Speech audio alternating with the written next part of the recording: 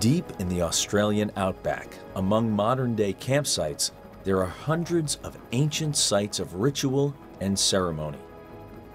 They offer a rare look into the fascinating culture of the Aborigines. Many of these places were lost for years and are only now being rediscovered. These ceremonial sites are home to rock paintings older than the pyramids of Egypt. Local anthropologist Adam McPhee is our guide. Talking about art that possibly goes back 40,000 years or more, probably some of the oldest art in the world. And the world doesn't know about it, that's the other thing. It is generally accepted that Aborigines settled in Australia about 55,000 years ago. Their ceremonies were performed here right up until the 20th century. The area is like a living museum.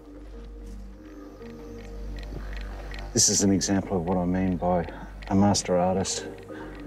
You can only imagine the detail that's missing here, but this is very, very fine work. Very, very fine indeed. The drawings show symbols and images of something the Aborigines call the dreaming. Legends of the dreaming describe the creation of the world, its rivers, its mountains, and its humans. The dreaming forms the basis for many of the Aborigines' beliefs and traditions. One of the most important stories of the dreaming is that of the rainbow serpent, the creator of everything we see. Respected local elder Margaret Catherine explains what it means to her. It's the spirit that look after the river and the country. If I die, my spirit will be there.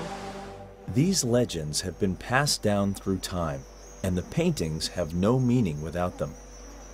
Together, they ensure the Aborigines' link to the past and its people. They are all part of the land.